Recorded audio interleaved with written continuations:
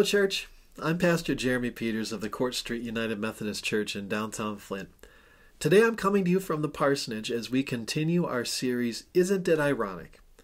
In this series, we're looking at some of the most ironic moments and stories in the Bible as we discover that the irony in the Bible is an important part of the message of the Bible. Last week we learned that irony can mean a situation in which a person's actions have the opposite effect of what was intended. We saw that sometimes in the Bible, irony means that evil actions lead to happy consequences for God's people. Today we're going to hear another spin on that story, this time from the Old Testament book of Exodus. The book of Exodus begins with God's people living in the land of Egypt. It's been hundreds of years since the time of Joseph, who made a place for the Israelites in that foreign land. The Israelites have prospered and thrived in Egypt. In fact, they have multiplied so much that Pharaoh, the ruler of Egypt, is afraid of the Israelites.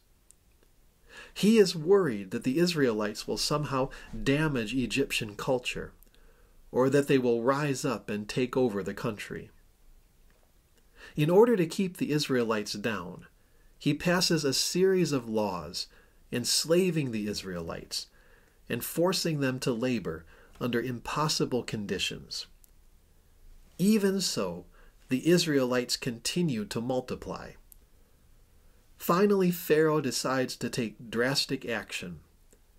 He orders that every newborn Hebrew boy should be thrown into the river and left to drown. It's one of the most terrifying and evil acts in all of the Bible. But the Israelites are clever, and they find many ways of saving their children.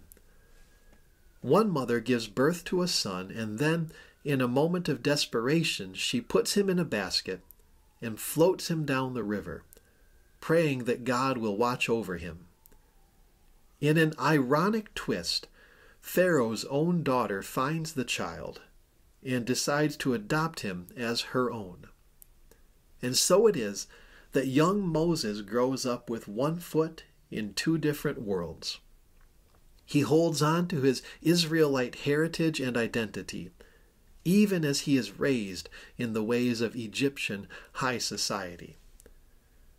Many years later, when God decides to set the Israelites free from their slavery in the land of Egypt, God knows just who to call. What better person to speak for the people than a man who already has access to Pharaoh, a man who is both an Israelite slave and an Egyptian prince? All these years later, it turns out that by trying to destroy the Hebrew children, Pharaoh paved the way for the very revolution he was trying to prevent. Last week we saw that God can bring good out of even evil deeds. In the story of Moses, we see that often those who seek to do evil sow the seeds of their own destruction. The Bible is filled with these sorts of moments. In the book of Esther, a man named Haman seeks to destroy the Jews, and especially his rival Mordecai. In an ironic twist, Haman's plot backfires, and he himself ends up being hanged from the very gallows he built for Mordecai. And of course, the early Christians loved to point out that the devil paved the way for God's greatest victory and his own defeat when he chose to attack the Son of God. All of these stories can give us comfort in a world where so many people seek to do violence and harm. The history books and the Bible teach us that over and over again, dictators and terrorists and villains end up being their own worst enemies. How can God lose when evil seems so intent upon defeating itself? Let's pray. God of the underdog, you rescued Moses and thwarted Haman. Work your mischief among us today that the evil intentions of violent men might backfire, that the downtrodden and oppressed peoples of this world might be set free. Through Jesus, who defeated an empire by dying, we pray. Amen. Well, thank you for spending some time with us today.